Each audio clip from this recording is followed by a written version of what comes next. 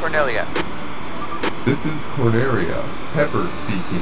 Congratulations on a job well done. Roger. I'm heading back to Cornelia.